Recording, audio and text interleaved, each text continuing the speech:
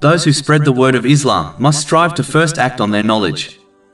In the early days of Islam, to attend a gathering of Islamic knowledge one had to journey for days, but now countless lectures can be found online. Yet, ignorance of the correct path has only increased since the passing of the righteous predecessors. This is because some have acquired knowledge by memorizing verses of the Holy Quran and narrations of the Holy Prophet Muhammad, peace and blessings be upon him, but have not used them to purify their character. Meaning, they did not act on their knowledge. Those who act like this will lose the power to affect the hearts of others through their advice. Some lecturers are like news bulletins that only provide information without stimulating others to act, thereby failing in their duty to guide others through their God-given knowledge.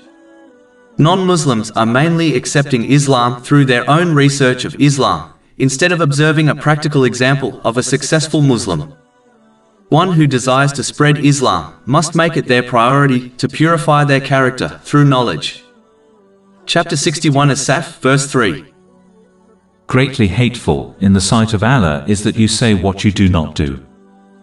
When one acts in this way, then a little correct knowledge will have a massive impact on themselves and others. Whereas, those who reject this correct attitude may possess more knowledge, but it will have no positive effect on anybody. This type of person has been described in the Holy Quran. Chapter 62 Al-Jumu'ah, verse 5. And then did not take it on, did not act on their knowledge, is like that of a donkey who carries volumes of books. Over 400 free ebooks, audiobooks, infographics, podcasts and blogs available on our website, www.shaykhpod.com.